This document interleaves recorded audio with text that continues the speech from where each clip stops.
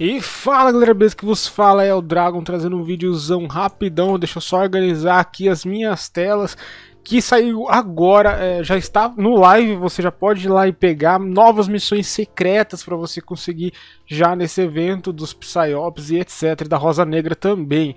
E como é que você faz as missões? É, também é muito simples junto como que vai, já aconteceu com a da Samira. Então essas duas novas missões secretas vai te dar ícones e vai te dar um baú com chave Hextex todo novo.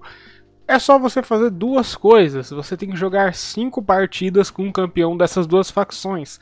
Ou seja, se você quer pegar o ícone da Psyops, tem que jogar cinco partidas ou de EZ, ou de Sona, ou de Vai, ou de Shen, ou de Mastery, né? Não, não é todas juntas, 25 partidas 5 com cada uma, mas 5 com uma delas em sequência. E aí na quinta partida você vai ganhar um ícone, no caso desses, da Psyops.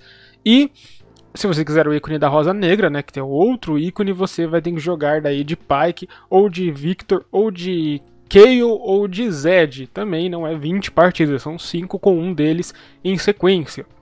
Após isso, você vai ganhar um ícone na sua conta referente ao dos qual você quis pegar, o da Rosa Negra ou do Psyops. E aí, em seguida, você coloca esse ícone no seu perfil e joga mais 5 partidas com um desses campeões da facção que você colocou no seu perfil. E daí vai vir um baú Hextech totalmente gratuito na sua loja, dentro do seu, lá no seu perfil, para você poder abrir, ganhar alguma skin, algum fragmento ou enfim, o que você puder ganhar de graça. Então, boa sorte a todos e essa foi só um evento surpresa. Eu vim trazer para vocês. Eu sou o Drago, já estou ficando por aqui. Eu fui e tchau.